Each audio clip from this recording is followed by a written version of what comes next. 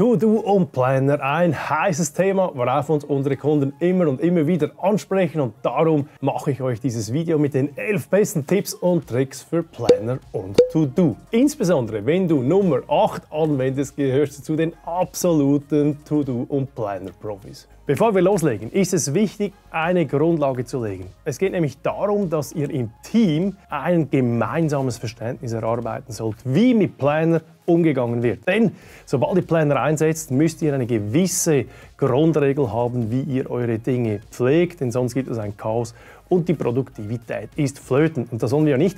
Und darum einfach kurze Guidelines, wie machen wir das, wann haken wir ab, was ist eine Minimumanforderung einer Aufgabe, die quasi die Information im Minimum haben muss, etc.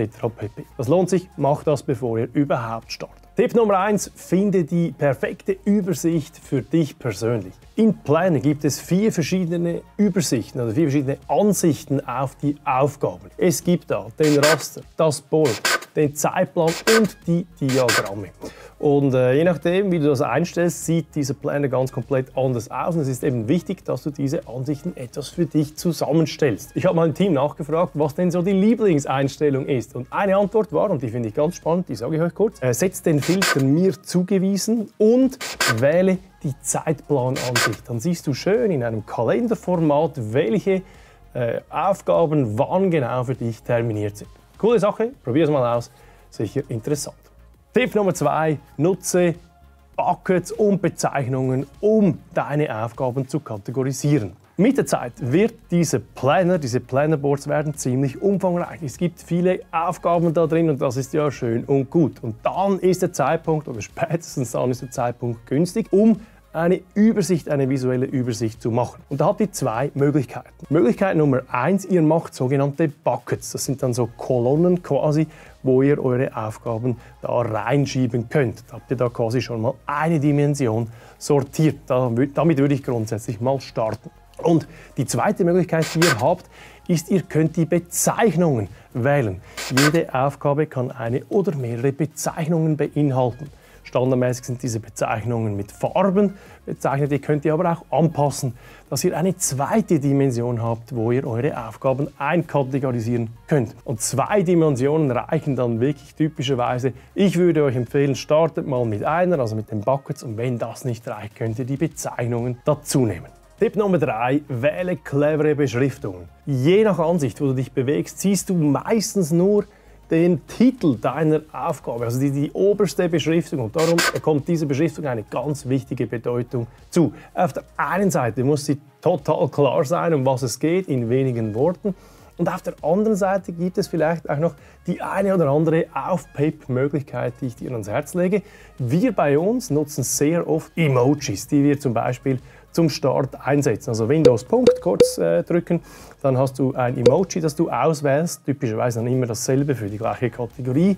Und so hast du sehr schnell einen visuellen Überblick in den äh, Ansichten für deine spezifischen Aufgaben. Tipp Nummer 4, mein absoluter Liebling, wähle immer eine Deadline und immer eine Zuweisung für deine Aufgaben. Das ist kein Geheimnis, aber es ist wirklich wichtig, dass du immer, immer, immer, wenn du eine Aufgabe erstellst, eine Person zuweist. Und ich empfehle dir, eine Person zuzuweisen, nicht irgendwie zwei, drei, vier oder fünf, denn dann ist ja unklar, wer da die Verantwortung trägt. Und zweitens empfehle ich dir, immer eine Deadline zu setzen, denn dann werden diese Aufgaben bei den betreffenden Personen eben rot oder überfällig. Und das ist eben wichtig, dass die Chance erhöht wird, dass diese Aufgaben auch wirklich erledigt werden. Tipp Nummer 5, nutze die Checklisten für Subtasks. Es ist so, dass du quasi ja eine Aufgabe, die hakt man ab oder nicht, selbstverständlich, aber es gibt dann eben auch etwas umfangreichere Aufgaben, die vielleicht Teilaufgaben beinhalten. Du kannst das machen, indem du die Registerkarte anklickst, also diesen,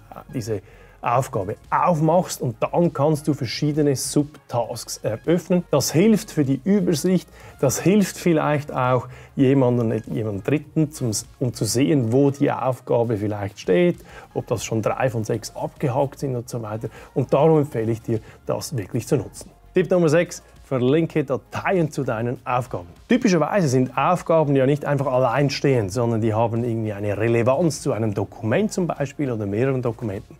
Und darum ist es eine wichtige Eigenschaft, wenn ihr eure Aufgaben mit Links zu den dazugehörigen äh, Dateien quasi verseht. Ihr könnt das machen, indem ihr auf Hinzufügen klickt und da einen Link platziert. Und ich betone einen Link, nicht irgendwie ein Duplikat eines Dokuments auf diese Aufgabe daraufschieben oder so ähnlich, dass die Leute an einem Ort dieses Originaldokument haben und immer wieder dazu gelenkt werden. Eine echt wichtige Eigenschaft. Macht das, gewöhnt euch das an. Es lohnt sich und ihr werdet es nicht bereuen. Tipp Nummer 7. Erstelle Vorlagen für deine wiederkehrenden Aufgaben. Es ist doch immer wieder so, dass Aufgaben immer wieder kommen und genau die, die kannst du als Vorlage abspeichern. Wie machst du das? Du machst einen Bucket mit zum Beispiel dem Titel Vorlagen und da drin erstellst du deine wiederkehrende Aufgabe exemplarisch. Du machst das wunderbar, füllst deine äh, Subtasks speziell genau aus, weil die kommen ja dann immer wieder.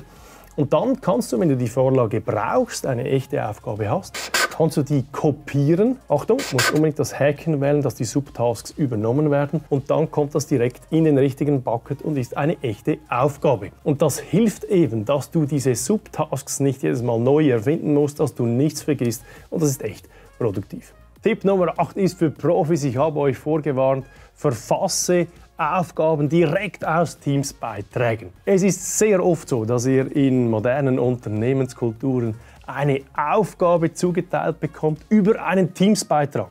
Da schreibt mir zum Beispiel Milena, könntest du bitte äh, diesen Text reviewen? Äh, und dann macht sie einen Link zu diesem Text etc. pp. Und das schickt sie quasi als Beitrag in Teams zu mir und taggt mich da. Und dann kommt eben die Magie, wenn ihr da die absoluten Profis seid, dann macht ihr über die drei Punkte eine neue Aufgabe aus diesem Beitrag, äh, legt den in den richtigen Bucket ein für euch, ab für euch und dann wird in diesem Beitrag eine Antwort publiziert, diese Aufgabe wird erstellt, ihr habt die automatisch bei euch zugeordnet und die Milena, die das abgesendet hat, der, äh, die staunt total, denn sie sieht dann eben auch, dass eine Aufgabe erstellt wurde und kann auch immer verfolgen, wo jetzt gerade der Stand ist, ob das abgeschlossen ist und das ist echt cool. Probiert das aus, wenn ihr das noch nie gemacht habt. Tipp Nummer 9. Nutze die Wiederholungsfunktion in To-Do oder eben auch in Planner. Wenn du eine Aufgabe erstellst, für dich selbst vielleicht in To-Do, hast du die Möglichkeit, eine Wiederholung einzuschalten. Ich zeige dir das kurz hier.